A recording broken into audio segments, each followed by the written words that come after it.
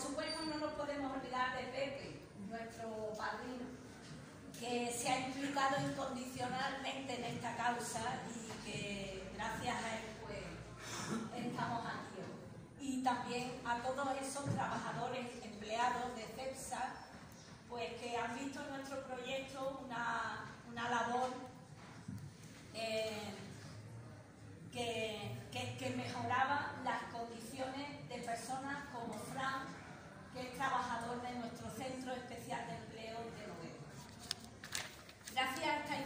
los trabajadores del Centro Especial de Empleo de Abriendo Puertas podrán mejorar sus condiciones laborales puesto que el aislamiento de la zona de trabajo les permitirá trabajar eh, en unas condiciones más favorables.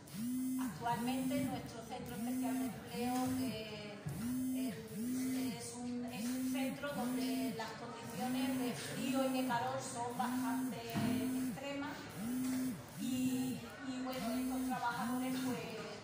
inmediatamente y era un proyecto que llevábamos.